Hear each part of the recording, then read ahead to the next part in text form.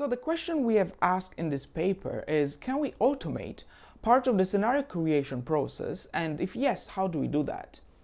And to answer the question, we have started from the scenario archetypes method or four generic futures, which is a very famous foresight methodology created by futurist Jim Dator that allows us to create possible futures based on a set of four predetermined narratives or archetypes. The four narratives are continued growth, which is a future of growth, continuation of the present, expansion of the current trajectory, and also problems into the future. Collapse, which is a future where the system reaches its limits and collapses. Discipline, which is a future where society finds a new equilibrium. It becomes disciplined, harmonious, and sustainable. And finally, transformation, which is a future of radical departure from the present due to a transformative event or a transformative phenomenon.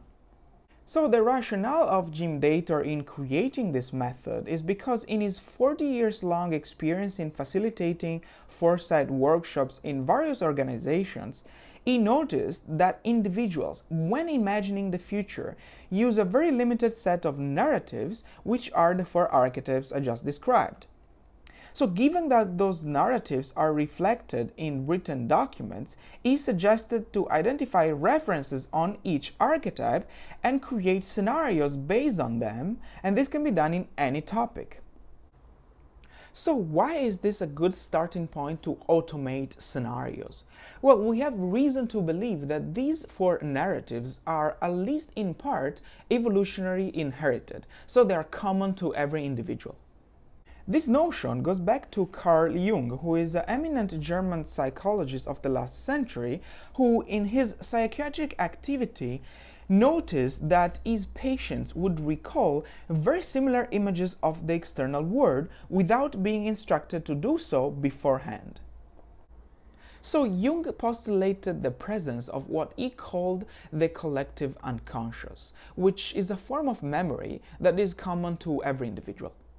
Now, the presence of a collective imaginary about the future, which is what interests us in this paper in particular, was also proven by a variety of studies and by foresight practitioners, who either directly interrogated individuals about their images of the future, or analyzed or created some scenarios about the future, and they all found that the future tends to be imagined according to a very limited set of archetypes that are either very similar to Jim Dator's four archetypes or completely corresponding to them. So to automate the scenario planning process starting from those four archetypes, we have designed a text analytic algorithm that allowed us to classify documents about the future in one of the four archetypes. So instead of manually looking for references about those four archetypes as Jim Dator suggested, we let the algorithm do that. Assuming that most of documents about the future are somehow talking about those archetypes because those archetypes are in our collective unconscious. So the algorithm consists in four lists of words, one for each archetype, that are very archetype specific, meaning that each list contain words that characterize only one archetype and not the other three. So say that you have a bunch of documents about the future, and that could be about the future of any topic. Now the algorithm counts the frequency of those words in the documents and classifies the documents in the archetype of which they have the highest number of archetype-specific words. And this means that we will have a pile or a set of documents for each scenario archetype. So we have four piles in total. Then in each pile, the algorithm will scan for those 10 documents with the higher number of scenario-specific word count in that scenario relative to the other scenario-specific word count. So this effectively identifies the 10 most scenario-specific documents in each pile.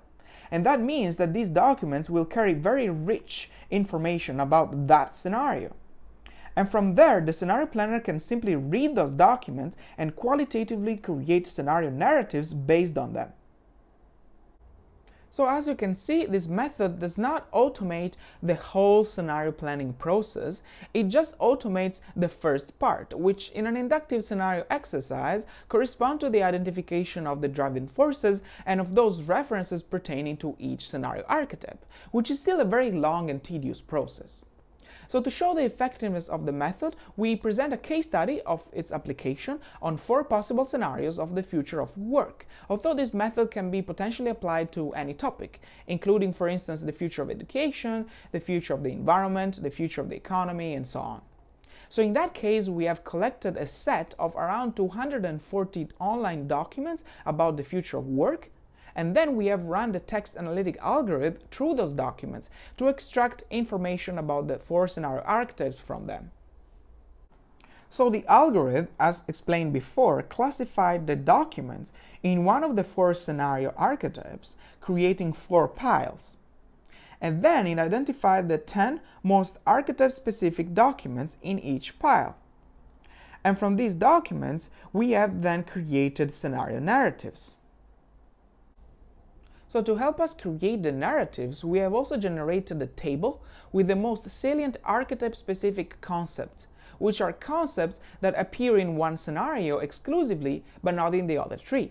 So for instance, in the scenario archetype continued growth, the most salient archetype specific concepts are smart devices and Internet of Things, while on the other hand, in the scenario archetypes collapse, the most salient archetype specific concepts are underestimation of the risk of automation and unemployment and so on. So from this table, it was very easy for us to create scenario narratives, which we provide at the end of the article. So I hope you enjoyed this presentation and I hope you will consider using this semi-automated scenario technique in your foresight practice. In fact, large part of the syntax of the algorithm we use is freely available at the end of the paper. Happy reading and have a nice day.